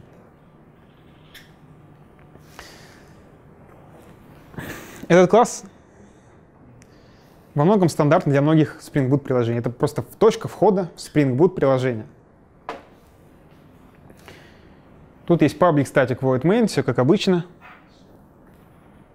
И здесь есть просто некая строка, которая запускает наше веб-приложение.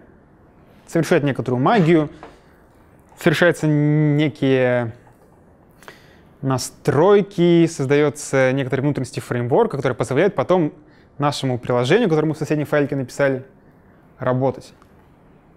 И здесь есть такая вещь, как аннотация. Так, вы, по-моему, Сереж, еще не проходили аннотации. Это в каком-то смысле, это некоторая... Вам, наверное, не видно сейчас, сейчас будет видно. Это просто некоторая метаинформация, по которой Spring и Spring Boot понимают, что вы хотите.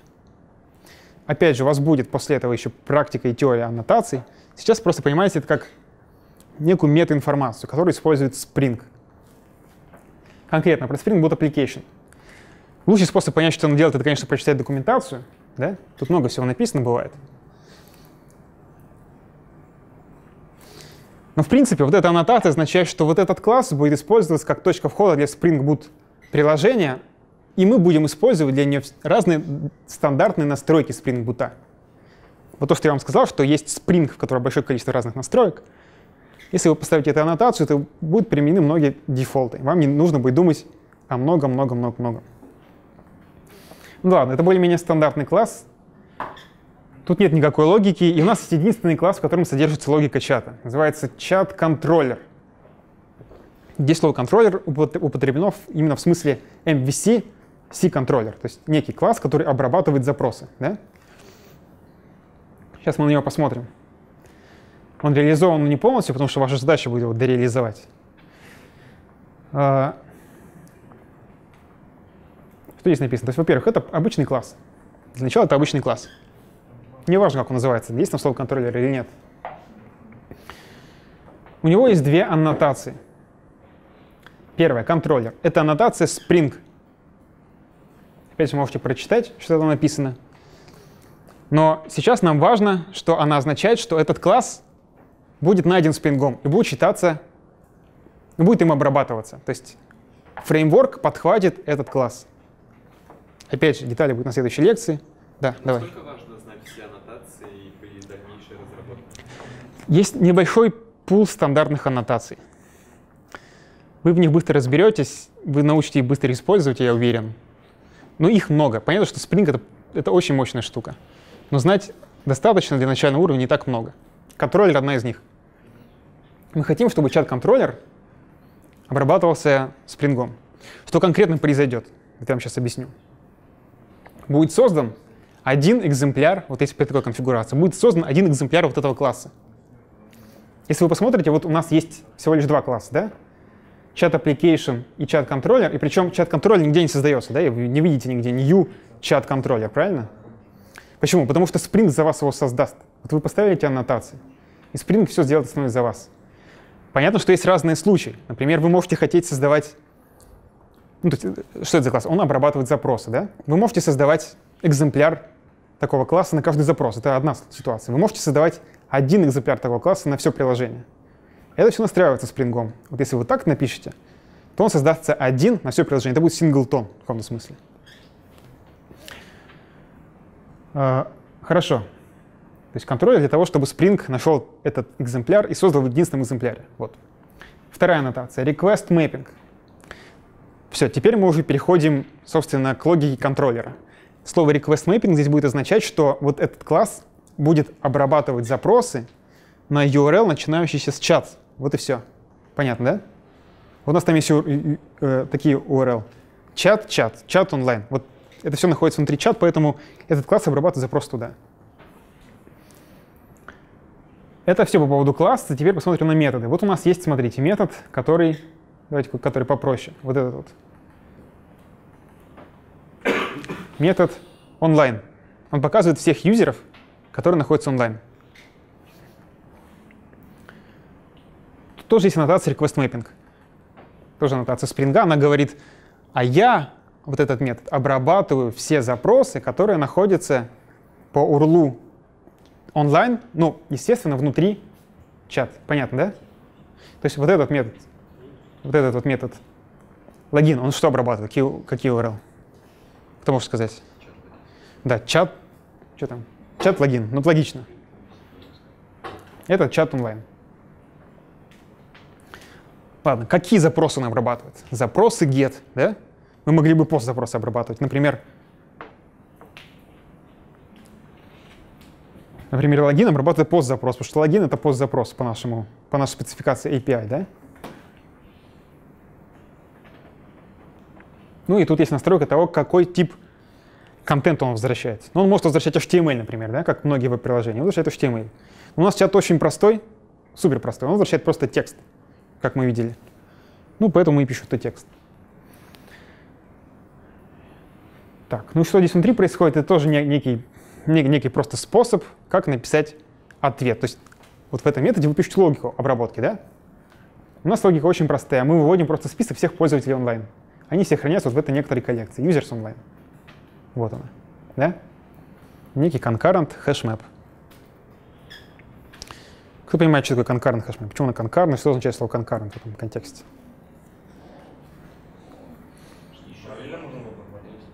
Да. Ну, то есть мы с вами уже проходили какие-то коллекции, у нас там были карты и списки. Но просто мы сейчас используем конкретно concurrent версии. Э, то есть, да, ты сказал, что это параллельный коллекция в каком-то смысле. Но это верно, только надо понять, почему мы здесь используем параллельное. Почему не можем обычное. Ну да, смотрите. Вот у нас есть некий контроллер — это, как мы знаем, Spring создаст один объект, такой синглтон объект на все приложение. Да?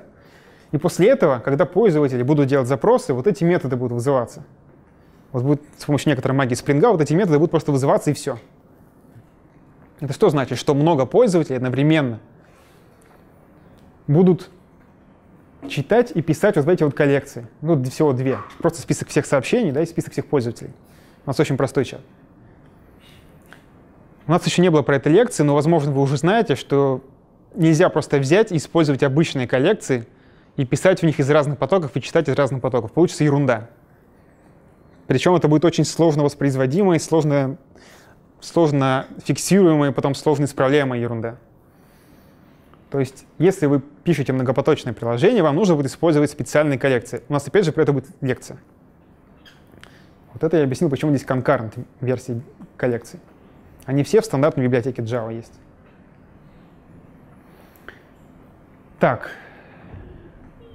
Кто еще что-то не понял? Вот, вот сейчас вот. А у нас вот эта переменная messages, чтобы каждый раз хранить то, что мы приняли. Ну, ладно, давайте я вам объясню. У нас тут всего две коллекции. Больше никак, никакого состояния в нашем чатике нет. Users online. Если мы посмотрим на метод логин, то просто когда пользователь к нам пришел и такого еще не было, мы его добавляем в users online. Логично, да? Все. Messages. Это просто список всех сообщений. Вот он, так у нас используется. Какой-то пользователь вошел, мы пишем в этот месседж сообщение о том, что пользователь вошел. Если кто-то пишет сообщение, мы пишем, такой-то пользователь написал такое-то сообщение в эту очередь. Эта очередь, у нее сохраняется порядок, и потом мы ее выводим. Вот и все. То есть, вот, я думаю, что вы поняли идею. Понятно, что существует какая-то магия, которую делает Spring, которая вызывает нам эти методы. Да? То есть мы с вами до этого Java-приложение уже не- несколько написали, и мы всегда создавали сами объекты. Мы всегда создаем объект, потом вызываем какие-то методы, и как бы весь, весь поток выполнения программы контролируется нами. Но оказывается, что в больших приложениях это не очень удобно. Это будет очень громоздко, это будет очень сложно изменять, сложно тестировать. Поэтому Spring позволяет нам просто написать какой-то метод обработчик. И когда он будет вызван, это все сделает Spring. Вот в этом вся магия Spring. Ладно, давайте тогда начнем сразу практику делать. Соответственно, практика ваша заключается в том, чтобы дореализовать все эти методы, которые не дореализованы. У нас, у нас уже реализованы онлайн и логин. Еще у нас есть логаут. Ну ладно, про логаут у нас просто не было описания API. Вы можете сами его написать, придумать. И знакомый уже нам say и чат-чат. Смотрите сюда на уже существующие методы и реализуете. Понятно, да? Ку- Да. Ну ладно, сейчас по заданию спрошу. У кого-нибудь про задание есть вопрос? Да, что значит а, response status? Да, response статус. Сейчас я просто м, найду, где он у нас возвращается.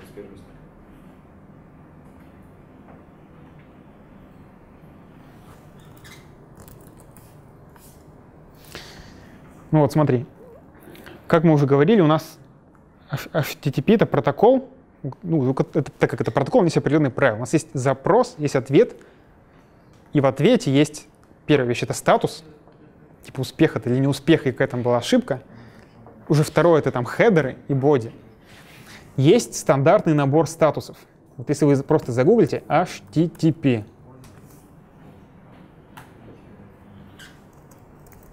статус, если лучше вот так вот. Просто наконец, например, на статью Википедии про HTTP, но лучше, конечно, смотреть не в, не Википедию, не в русскую. Тем не менее, тут есть обзорный список, и на каждую популярную ситуацию, которая может произойти в вашем веб-сервере, не только в веб-сервере, может быть, еще и до попадания на веб-сервер, есть определенный код. Ну, Вы все видели код 404, наверное, да ведь? Делаете запрос, ничего не нашли, просто написали неправильный запрос. Браузер вам говорит 404. А? А. В описании API написано, какие коды вы должны возвращать.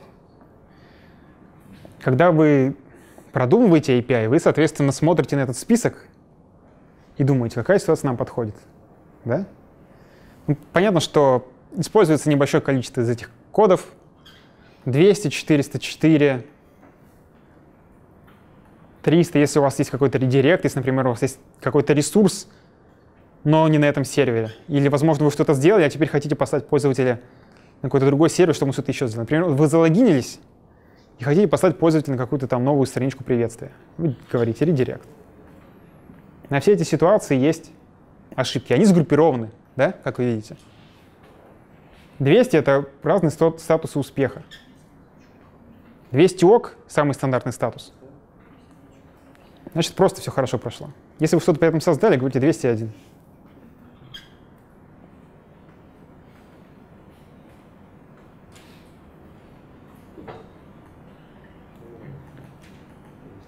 Ладно, какие еще вопросы есть по заданию?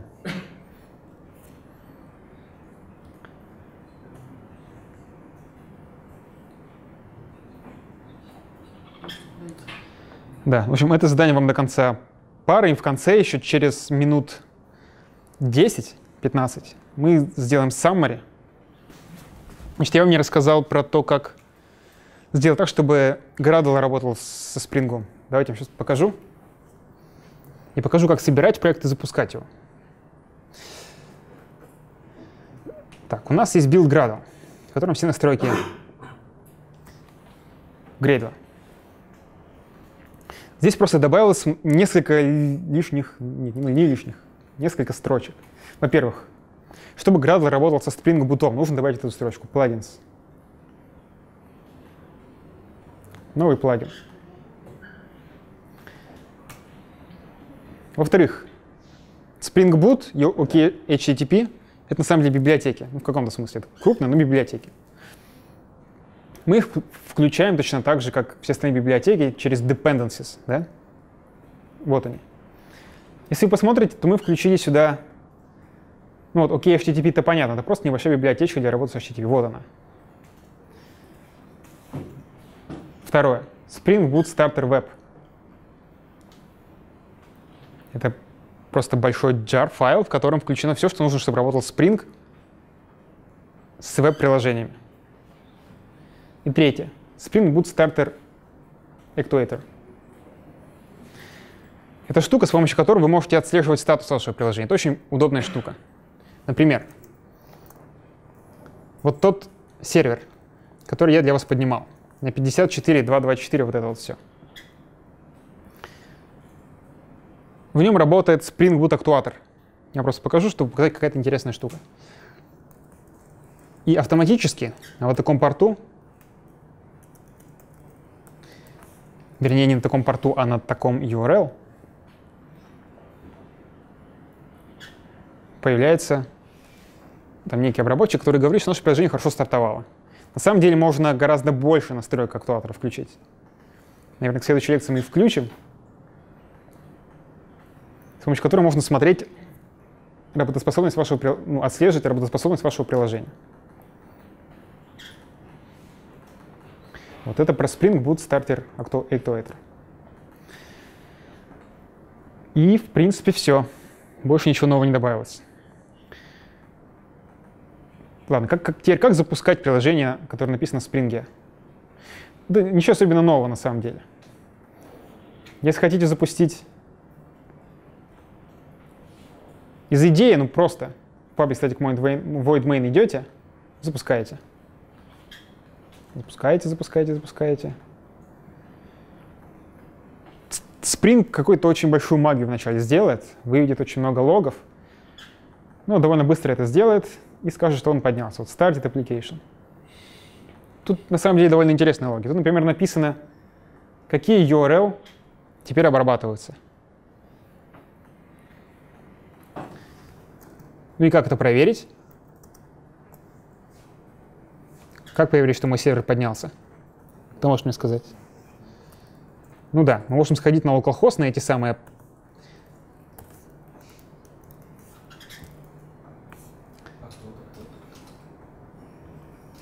Нет, не чат, чат, там чат, чат не реализован. Чат онлайн реализован, но там никого нет, никто не залогинился, да? Я могу залогиниться, точно так же, как мы с вами логинились. Только на этот раз на localhost, да, ведь? На localhost, на, на свою машину.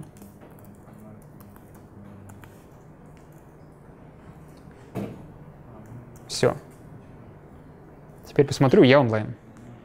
Ну, вы поняли, мы подняли тот же самый сервис, только локально. А localhost это на вашей машине? Да, localhost — это обозначение для э, локальной машины, да. И мы только если будем знать IP вот в этой локальной сети вашей машины, сможем подключиться к ней. Ну, сейчас. Да, все верно. Если ты находишься в сети, в моей сети, то я тебе могу дать свой IP-адрес. Вот он.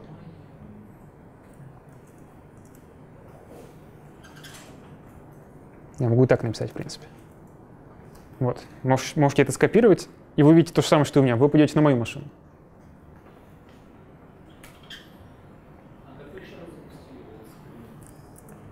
Как, как я запустил Spring Boot приложение?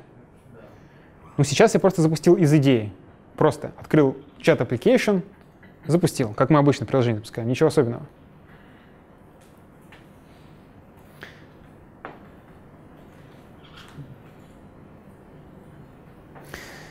А, оно запустилось на порту 8080.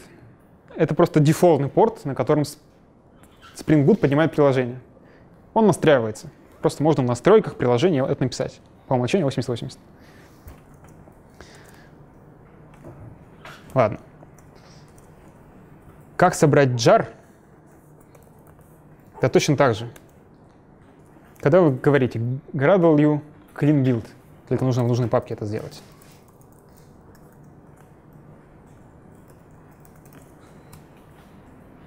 На стадии build собирается jar файл, как мы знаем, да ведь? Он находится в build libs по умолчанию. Давайте проверим это. Build libs lecture 04. Да, файл, который создан только что. Как его запускать, вы знаете. Как? Как запустить этот jar файл? Да, java минус jar. И путь к этому файлу. Все то же самое. Сейчас, правда, мой сервер не поднимется, потому что порт, порт будет занят. Я поднял вторую копию приложения. А, нет, поднялся. Видимо, я старую опустил.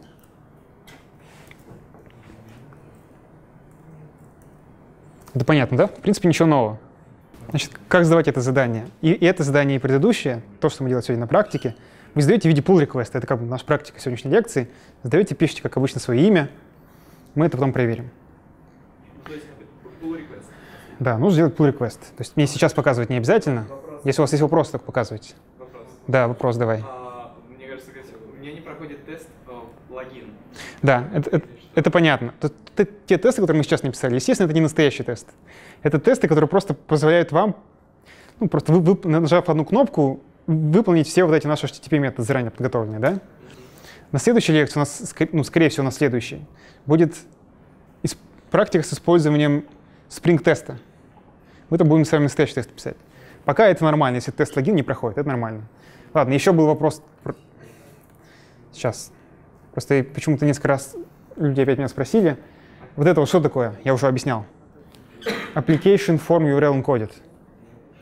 Объясняю еще раз. На примере CURL. Вот когда мы с вами делаем пост-запрос, мы там параметры передаем, видите, да? Мы говорим минус D и параметры нашего запроса передаем. Это не единственный способ, как можем передавать параметры. Это мы как бы в теле запроса их передали. А еще мы можем передавать их просто вот так вот.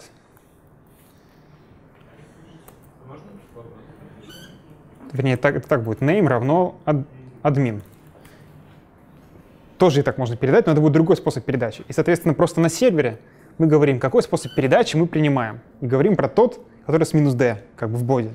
А если мы отправим при помощи второго, то мы просто-напросто от- от- от- отторгнем этот запрос. Да, можете попробовать, у вас ничего не получится. А Да. них раз? Текст value. Пишем? Нет, это не текст plain value, это другое. А. Текст plain value, вот смотри, тут есть... Я сейчас показывал на пост метод, и у него есть такой штука, как consumes, то есть как он получает параметры запроса. Вот эти параметры, вот эти вот параметры, они откуда берутся? Ответ. Из body. Или когда мы из URL делаем запрос, это будет минус D. Или когда из OK HTTP, то это будет там body, метод body вы вызываете. А про produce plain text value это значит этот, этот же метод онлайн. Он же нам возвращает на самом деле в страничку, да, вот это вот с теми людьми, которые онлайн. В каком виде ее вернуть? Ее можно вернуть в виде HTML, можно вернуть в виде JSON,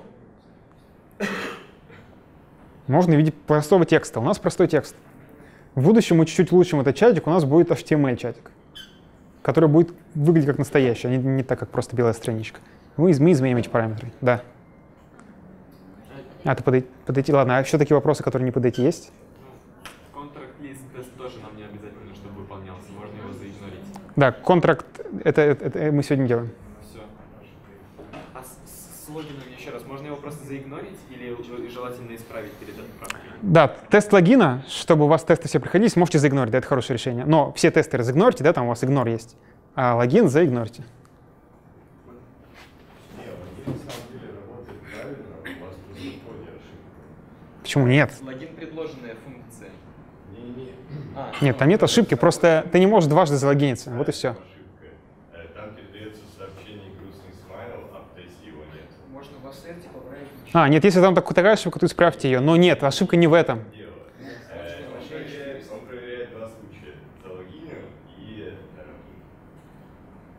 А, я понял тебя. Да, я понял. Да, скорее всего, там проверяется и тот случай, что мы уже залогинены тоже, да, но там ошибка, я понял тебя. Сделай pull request. И вообще просто исправьте это. И да, не, не игнорьте его, все правильно. Сейчас я найду это место. Чат клиент тест, а где это, где это? А, первый же самый. Ну, там вот так, да, вроде как. В общем, посмотрите так, чтобы он проходился. Во-первых, мы с вами начали лекцию с того, что повторили, что, какие у нас бывают эксепшены, какие бывают коллекции, как они устроены, какая у них асимптотика, мы это не, не говорили, но это нужно знать. Это, правда, очень популярный вопрос на собеседованиях, знайте, пожалуйста, их. Про коллекции, про коллекции исключения. Summary. Я сейчас говорю summary. Ладно, второе. Про HTTP. Просто знание HTTP — это совершенно базовая вещь, которую должен знать любой современный программист. Мы на это довольно много времени потратили, чтобы вы понимали все в деталях. Вот, пожалуйста, с ним разберитесь. И третье, мы с вами сегодня ну, поиспользовали OKHTTP. Ладно, это просто довольно-таки простая библиотечка, чтобы вы просто представляли себе, как делать HTTP-запросы Java кода. Важнее Spring. Опять же, следующая лекция у нас будет с более детальным обсуждением Spring. Но теперь вы хотя бы должны понимать, как по шаблону сделать некий обработчик запросов. Да? То есть теперь вы уже, в принципе, можете написать свой собственный чат. Вы знаете, куда писать логику, правильно? Вот и все. Значит, та практика, которую мы делали сегодня, ее присылайте в виде pull реквеста э, На самом деле, давайте так, давайте заигнорим эти тесты. Правда, это не важно, проходят эти тесты нет. Я просто буду смотреть, что вы сделали правильную реализацию всего, всего, что нужно. И да, если вы не сделали второе домашнее задание, доделайте его, пошлите. Вы просто получите небольшой штраф в баллах, но это довольно важное домашнее задание. Следующее домашнее задание, скорее всего, вы будете сдавать уже в группах. Я думаю, что в следующий раз мы вам объявим, должны будете разделиться на группы. Ну и все. Теперь оставьте обратную связь. Напишите, что вам понравилось, что нет. Мы на это обращаем внимание.